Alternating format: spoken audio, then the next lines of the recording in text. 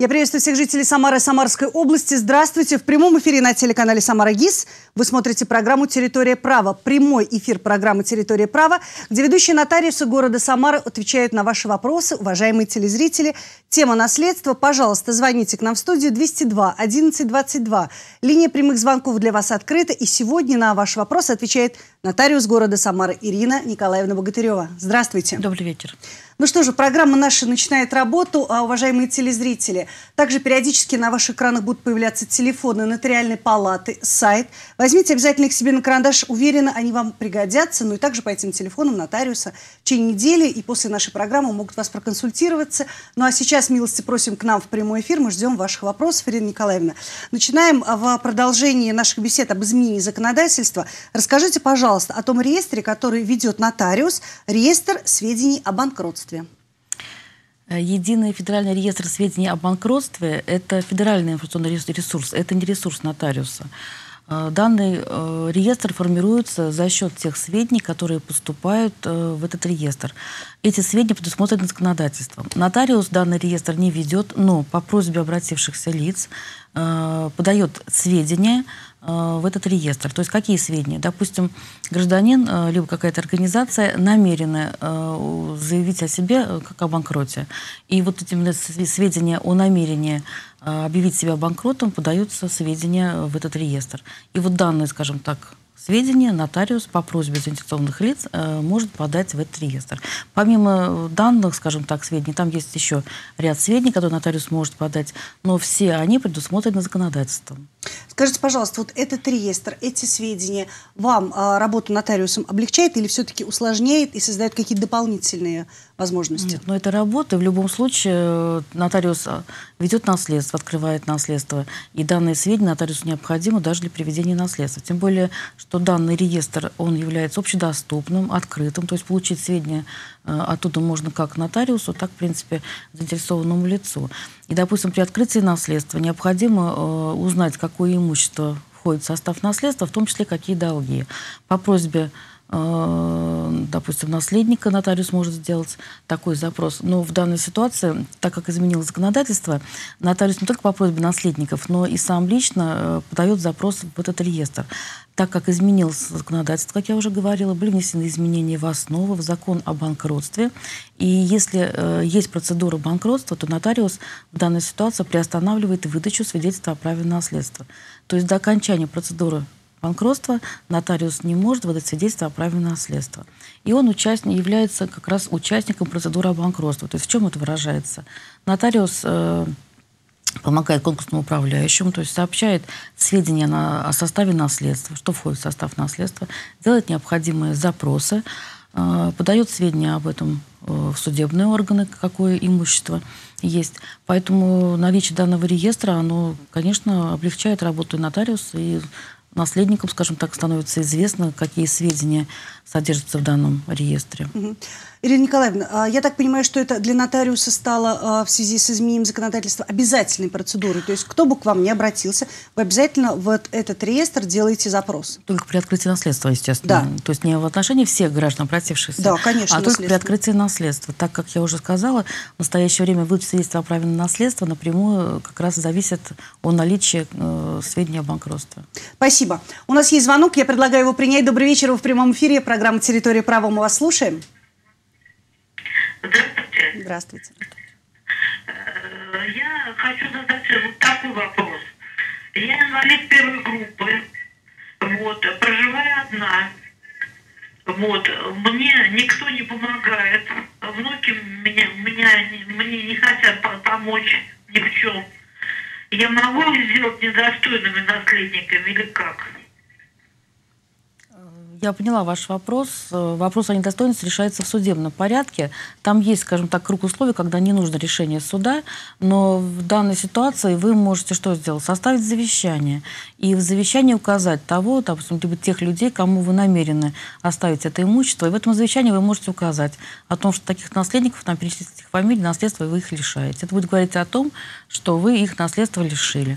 То есть в данной ситуации вот такой выход из положения. Это а, если завещание не написано. А если если уже написано завещание, то его можно просто-напросто Ну, Можно же переписать. написать новые завещания, и новые завещания, оно внесет изменения в, предыдущее завещание, либо отменит его полностью. Зависит от того, что было написано в первом завещании. Поэтому в данной ситуации необходимо рекомендовать, что составить завещание, где указать, какое имущество кому будет завещено. И в этом же завещании возможно указать о том, что наследников там по закону, таких-то внуков, указать их фамилии, наследство лишаю. Ирина Николаевна, вы не сказали, на мой взгляд, очень важную определяющую вещь.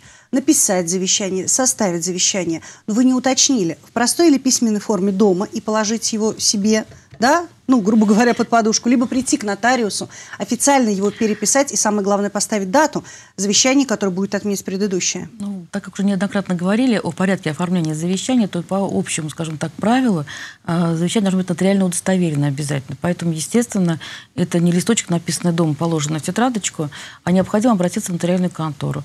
Если, скажем так, возможности нет обратиться в нотариальную контору, прийти лично э, ввиду болезни, так как у нас инвалид первой группы, то можно вызвать нотариуса на дом и оформить также нотариально завещание на дому.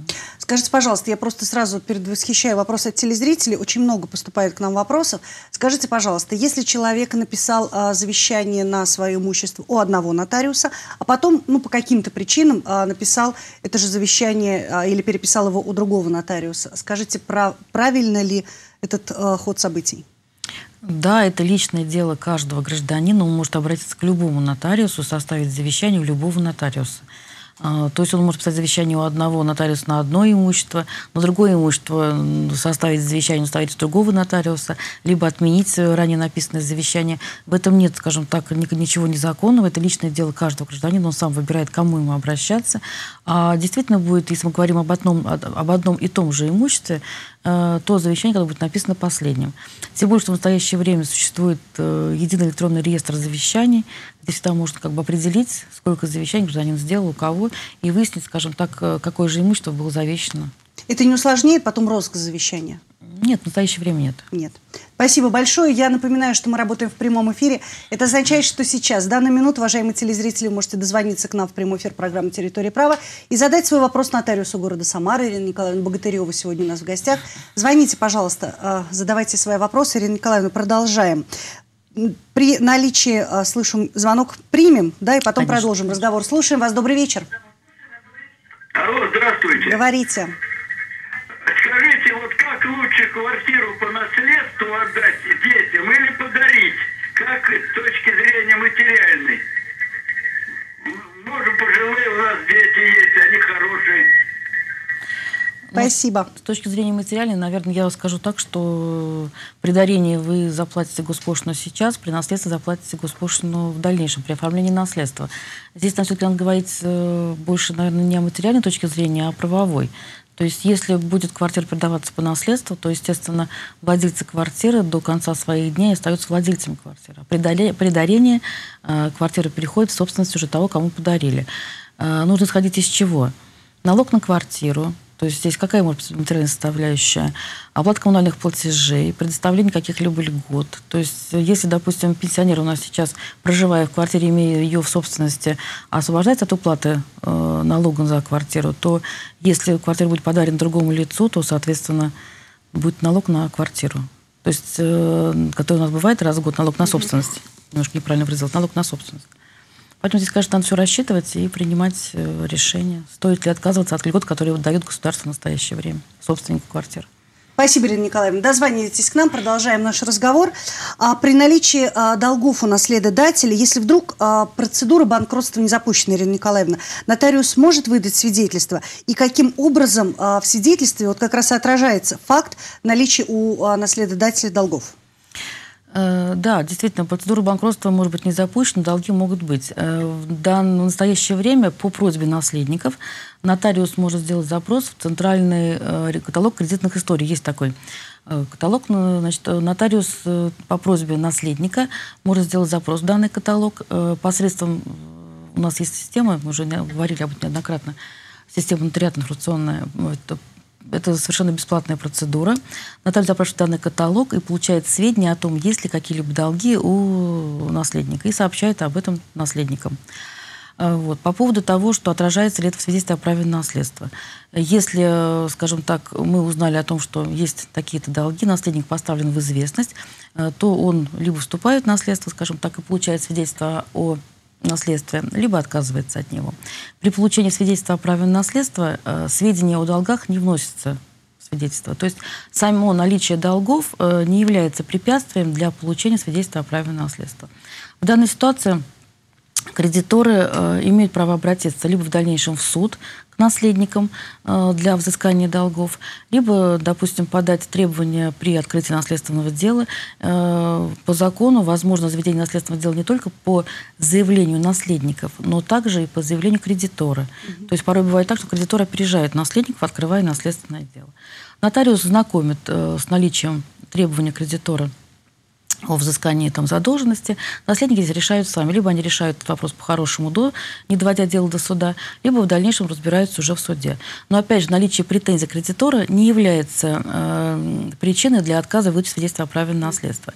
Только если кредиторы обратятся в суд, и суд вынесет определение о приостановке выдачи свидетельства о праве на наследство, тогда в данной ситуации нотариус э, не будет выдавать до тех пор, пока не будет рассмотрено дело в суде. Но здесь необходимо что, наверное, отметить, что наследники отвечают по долгам наследодателя, ну, как мы уже неоднократно говорили, отвечают не своим имуществом, а только тем, которые получат э, по наследству. То есть в пределах той стоимости наследственного имущества, который наследник получает, если, но не своим. Да, ну и опять же, если они соглашаются принять это наследство. Ну, естественно, да. То, что наследник выбирает сам. никто не заставляет конечно, принять это наследство, даже если есть долги. Если, допустим, запросили Центр э, кредитных историй и получили информацию, что там долги превышают стоимость стоимость наследственного имущества, то, естественно, наследник принимает решение, принимать ему наследство, либо отказаться. Срок для принятия наследства и отказа 6 месяцев. То есть, допустим, если наследник э, сначала заявил о себе, о том, что он желает принять наследство, получить свидетельство о праве на наследство, то в течение шести месяцев, э, получив сведения о том, что есть э, долги, долги немалые, э, наследник может отказаться от наследства, но, опять же, это срок до истечения шести месяцев. Спасибо. А, принимаем ваши звонки, уважаемые телезрители. У нас есть дозвонившийся. Алло, говорите, вы в прямом эфире? Алло, добрый вечер. Добрый. Вот интересует вопрос, э, что с 1 января передали часть дела нотариус. Вот, интересна процедура оформления, как все это будет происходить, и какие сделки именно передали. А что передали? Понятен вопрос, Ирина Конечно, да, да, да, да. Вы уже говорили тоже об этом. Э, с 1 января действительно есть те сделки, которые подлежат реальному обязательному удостоверению, сделки с недвижимостью. То есть это те сделки, которые касаются продажи недвижимости, то есть доли недвижимости. То есть, допустим, это доля квартиры, там, ну, либо это комната, которая находится в долевой собственности, э, продажа земельной доли подлежит нотариальному удостоверению. Все сделки, где стороной являются дети несовершеннолетние, либо недееспособные, э, также подлежат нотариальному удостоверению. Э, ничего страшного в этом нет. Процедура как такая же, как она была и ранее, кто обращался к нотариусу. Необходимо обратиться к нотариусу, к любому нотариусу. Э, если это недвижимое имущество, либо там, земля, то, естественно, вы обращаетесь э, к тому нотариусу, где находится данное имущество. То есть, если это квартира городская в Самарской, естественно, нотариус города Самара. Если мы говорим о земельной доле, то там, где находится данная, данная земельная доля. Обращайтесь к нотариусу, предъявляйте документы, которые у вас есть. Э, на имущество. Нотариус запрашивает необходимые документы, то есть выписку из ЕГРП и э, то, что необходимо, скажем так, еще к сделке. Вот. Если это касается детей, то вам необходимо обязательно представить э, согласие, разрешение органов опеки, то есть постановление о продаже доли несовершеннолетнего. Если это продажа доли в недвижимом имуществе, то необходимо представить отказ э, со собственников об отказе от права преимущественной покупки либо сначала известить их через нотариуса э, о том, что вы намерены продать долю. Вот. Также э, обращаю внимание на то, что в жилищном кодексе предусмотрено очень как бы, интересное такое условие, что при продаже квартиры все долги э, по капитальному ремонту, который мы обязаны с вами платить, переходят на покупателя. Поэтому в настоящее время либо, скажем так, э, продавец гарантирует покупателю, что таких долгов нет, но для чистоты сделки необходимо предъявить, конечно, справку. Она берется очень как бы легко и быстро ее выдает о том, что такие долги отсутствуют. Вот. А далее нотариус запрашивает необходимые документы, а сам назначает вам время для совершения сделки. И также по желанию сторон, пожалуйста, ваша сделка может быть зарегистрирована нотариусом. Вернее, не сделка, а переход права будет зарегистрирован нотариусом, и нотариус получит документ, необходимый для продавца. Спасибо большое, Ирина Николаевна, за такой подробный ответ. А, я же обращаю ваше внимание, уважаемые телезрители, на телефон Нотариальной палаты, на сайт Нотариальной палаты, да. где, конечно же, есть все а, новости законодательства. Вы можете ознакомиться с ними. Ну и, конечно, а, можете задать вопрос специалистам, посмотреть интересующие вас вопросы. Телефон Нотариальной палаты возьмите себе на заметку. Ну и мы продолжаем разговор в прямом эфире. Вы можете нам позвонить и задать вопрос не только о наследстве, о брачном договоре. Ну, если у вас есть вопросы, собственно, к нотариусу. Ирина Николаевна, как наследники узнают о долгах наследодателя?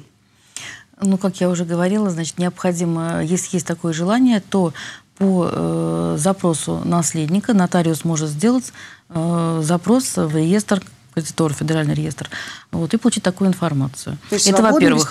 Да, да, да, это во-первых, если, скажем так, они внесены туда. Угу. А также удают, узнают каким образом? При, э, скажем, обращении к нотариусу, если кредиторы обратились уже ранее, то в наследственное дело поступает, естественно, запрос кредиторов, нотариус знакомит обязательно с этими запросами, требованием кредитора. Таким вот образом происходит. Спасибо. Есть звонок на линии. Вы в прямом эфире. Добрый вечер. Говорите. Алло, добрый вечер. Здравствуйте. Здравствуйте. Татьяна Геннадьевна беспокоит. Скажите, пожалуйста, на момент приватизации квартиры, Ирина Николаевна, вот непонятен мне момент, э, квартира была приватизирована на меня и на внука. Но на момент приватизации также э, была прописана дочка. Скажите, есть необходимость на свою долю писать завещание? Или э, по закону это распределится в равных долях? Сколько у вас детей? У вас детей сколько? Один. Один ребенок. Я поняла ваш вопрос. Значит, наследники в первой очереди – это дети, супруги, родители. Поэтому ваша ситуация, писать завещание не нужно, если у вас одна дочь, она является вашей наследницей по закону.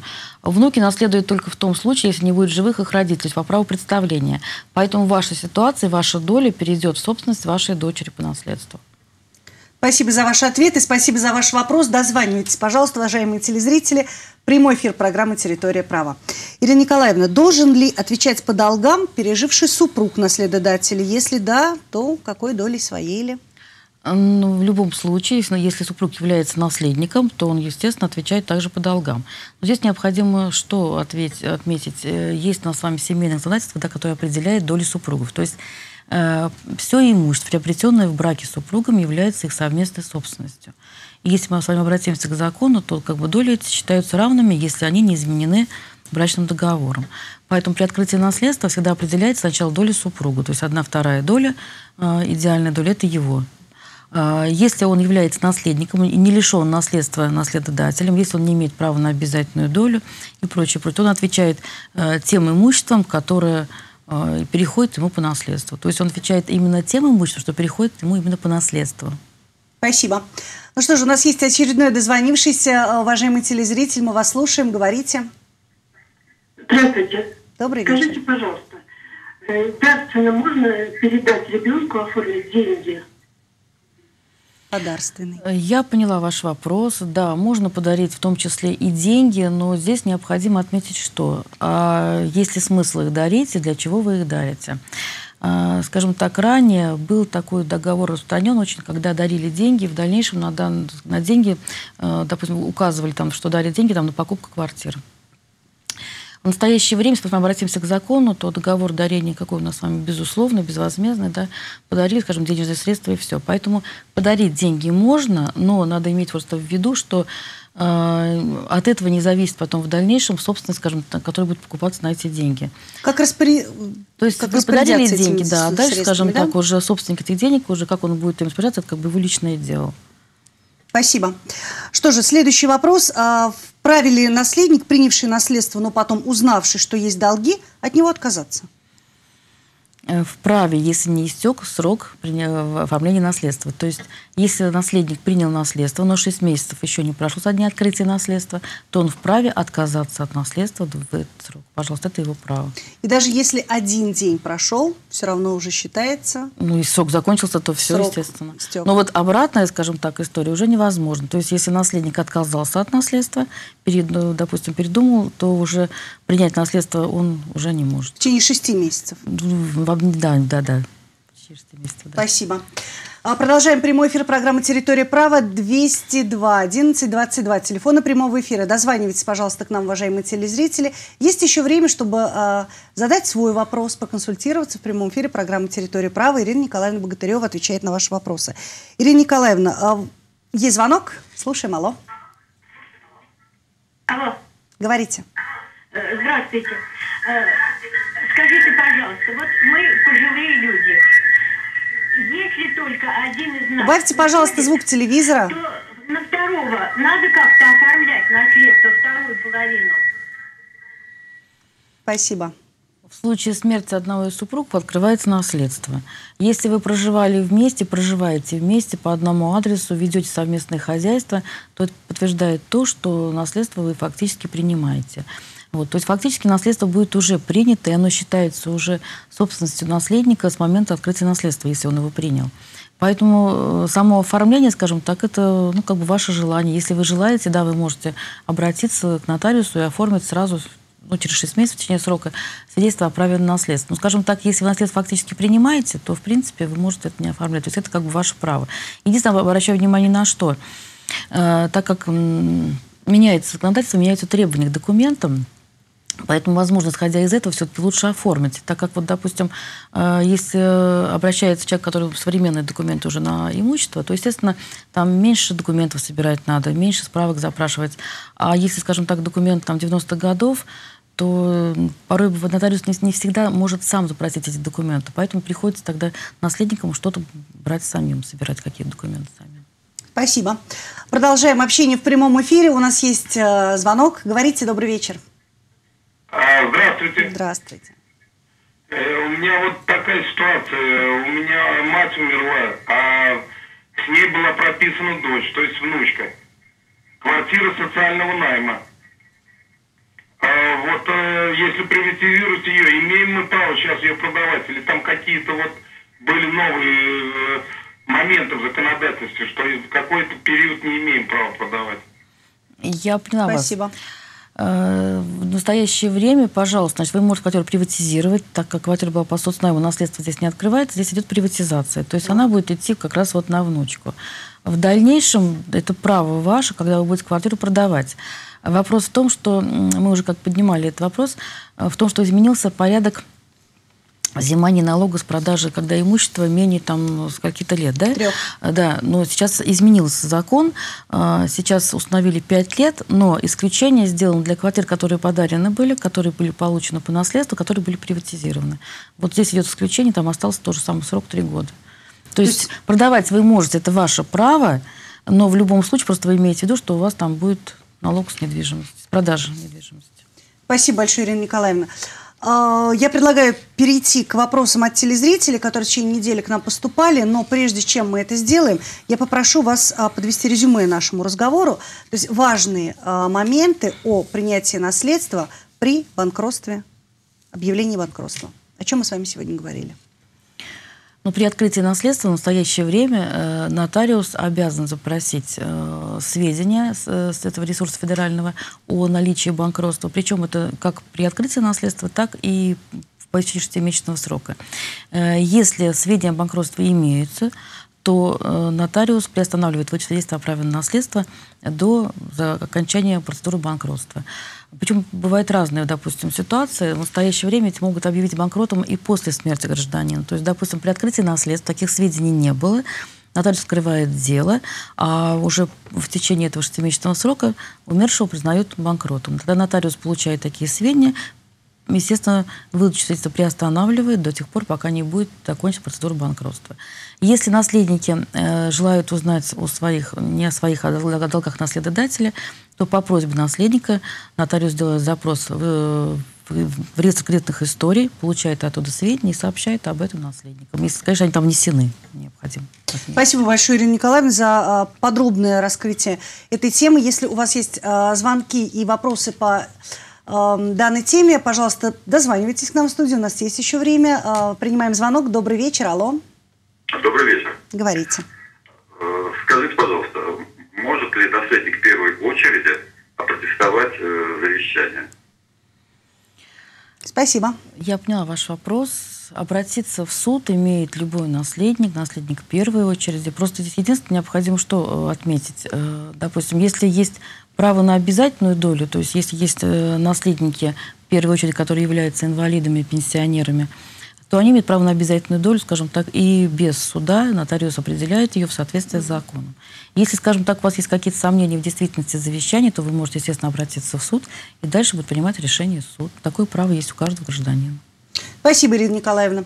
А, вопрос от телезрителей. Умер отчим, по документам не родственник, живет в Самаре. Завещание на имя внука живет в Тольятти на все имущество. Часть имущества в Самаре, часть в Тольятти. Вот как правильно вступить в право наследования, наследование, пожалуйста, объясните пошагово. Наследство открывается там, где проживал гражданин. То есть независимо от того, где находится имущество, в Самаре либо в Тольятти, э, в данной ситуации обращаться необходимо к нотариусу города Самары, открыть наследственное дело, сообщить ему о том имуществе, которое входит в состав наследства. Дальше нотариус сделает запрос самостоятельно, который необходим. Ирина Николаевна, а если имущество, ну вот, э, можем так э, сказать, разбросано, да, по территории области, ну, возможно, России, есть, такое разных городов, есть, конечно. разных городов. Скажите, пожалуйста, вот это как-то э, замедляет процесс э, его оформления, принятия, выдачи свидетельства? Ну, давайте говорить о том, что срок для наследства 6 месяцев, да, и за эти 6 месяцев можно сделать запрос куда угодно. То есть, если обратились вовремя, скажем так, к нотариусу, не в конце срока за, за одну конечно. неделю, то, естественно, нотариусу достаточно времени, чтобы сделать везде запрос. А если обратиться в последний последний день к нотариусу и потом там предъявить документ на 10 э, объектов, естественно, требуется время, тем более, что у нас э, отвечают все по-разному организации. Кто-то отвечает, как положено, за сутки, кто-то отвечает в течение 10 дней. Есть по месяцу нотариус не может получить ответ. Поэтому надо исходить из того, что обратиться к нотариусу все-таки более-менее, чтобы оставался срок до истечения шестимесячного срока, вот, и сделать необходимые запросы. А вот любопытно, можно ли увеличить срок принятия наследства? Если да, то в каких случаях, Ирина Николаевна? Или в принципе невозможно? Нет, ну есть срок, для, который установил закон, 6 месяцев. Если, скажем так, какая-то причина уважительная да. у гражданина да. есть там в случае болезни, угу. а, то, естественно, он может обратиться в суд, и суд, скажем так, а, уже... в судебном порядке. Только в судебном порядке, да, да, да. Либо, скажем так, когда есть другие наследники, которые приняли наследство, они могут подать заявление о включении его в число наследников. Спасибо. А, время наше заканчивается. Мы принимаем а, последний звонок сегодняшнего эфира. Добрый вечер, говорите. Лаконичнее, будьте любезны. Алло. Я должна говорить? Вы, конечно, мы слушаем Спасибо. вас. Вот я хочу вам задать вопрос такой, что положил я деньги в кассе на дочь, завещание сделала на нее в кассе, оформили. Нужно еще нотариусом завещание оформить, это заверить, или не надо такое? Нет, Спасибо. нет. В данной ситуации не требуется дополнительного завещания. В соответствии с законом вы имеете право сделать распоряжение на деньги, в том числе и в банке. Оно имеет такую же силу. Э, в случае открытия наследства часть денег, которые предусмотрены законом, она получит по завещанию сразу, а все остальное будет оформляться уже в порядке наследования э, у нотариуса. Но дополнительного подтверждения у нотариуса такое завещание не требует. Спасибо. Ирина Николаевна, еще такой вопрос. Имеет ли право на наследство, квартира, деньги опекун, который является родственником опекаемого? У нас нет такой категории наследника, как опекун. У нас есть э, наследники по закону, которые в порядке очереди вступают в наследство, первая, вторая и так далее. Если опекун является наследником первой очереди, вступает в наследство по закону, тогда, скажем так, он имеет право. Если, скажем так, он просто является опекуном там, какой-то очереди наследником, который не призывается к наследству, естественно, опекун как таковой не является наследником на это имущество. Спасибо большое, Ирина Николаевна. Что же, время нашей программы истекло.